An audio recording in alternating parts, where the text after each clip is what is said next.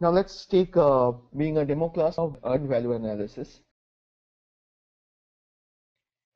Okay, there is one particular topic uh, called earned value analysis. It is not something which is regularly used or seen to be used in most organizations, but it is one of the very good tool to be used, tools and technique to be used in a project to ensure or to have a better understanding of how the project is progressing. Uh, there is a question, do we need to memorize all the process across the five phases? From Jay. Uh, Jay, yes, there is a need to memorize, uh, but it's not a difficult task. Uh, once we go through the topics in detail, we will understand there is a natural flow of activities. So once we understand the natural flow, it's easier to remember. Okay, so in earned value, what we really do is we try to measure our progress uh, based on the value, based on the money. Both schedule and cost is calculated on the basis of that. We will take an example to see that. So it's objective method to measure project performance and are used to measure project health and uh, project performance. It's a quantitative technique for assessing progress as the software project team goes through the work tasks allocated.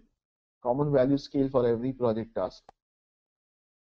Uh, so just give me a moment. Let me just take an example and uh, we will explain how this is done. Uh, this is this is one area where you will need to memorize the formulas. In PMP, there are few areas where we need to memorize formulas. This is the biggest of the lot. And you can expect around five questions coming from this particular topic. Now, why is EVA needed? There are different measures of different types of tasks. This allows you to give one single way of measuring everything. It provides an early warning signal for prompt corrective action. So it says bad news does not age well. It means that if you keep holding to the bad news, it doesn't help. We need to attack that and take care of it immediately as a project manager. If we know that the project is not going as per schedule, it will get delayed. It is we need to take care of the situation and find out what is causing uh, the delay and what can be done to take care of it while there is still time to recover. Maybe you need additional fund, you may need additional resource, something or the other. need to roll up progress of many tasks into an overall project status and you need to have a uniform unit of measure for the progress. EVA helps you to give uh, get all these things. Now, there are certain things called planned value, earned value, and actual cost. With the help of the example, we'll see what it is. Uh, earlier, the planned value used to be called BCWS or budgeted cost of work scheduled.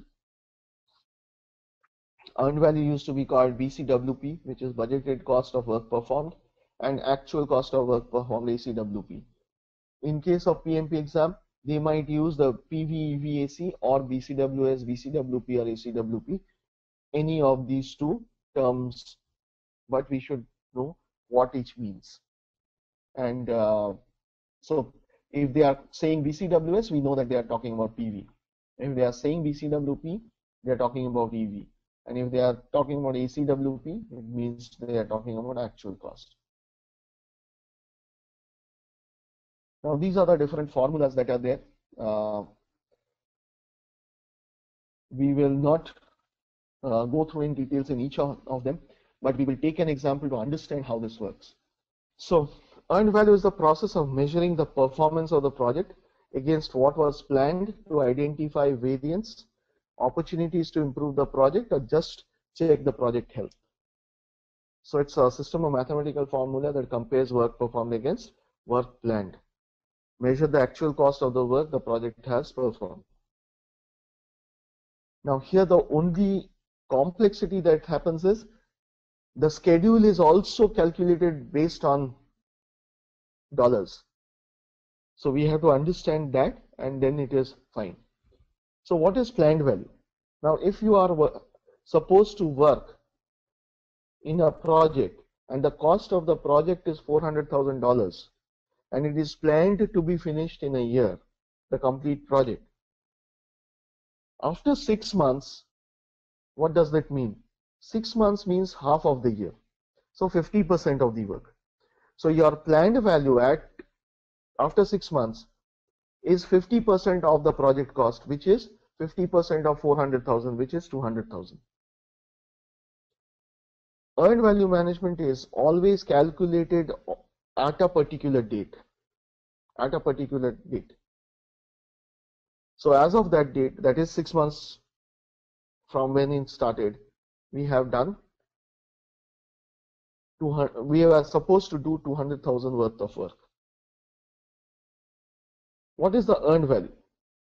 It is the physical work completed to date and the authorized budget for that work. Now in the same example, if we say that at the end of the six months, we have done 45% of the work. So what is our earned value? It is 45% of 400,000. So we have done 1 lakh $185,000 worth of work how much were we supposed to do? $200,000 worth of work. So we are $15,000 worth of work short. Which necessarily means, as Sudhi says, we are behind schedule. We are going late.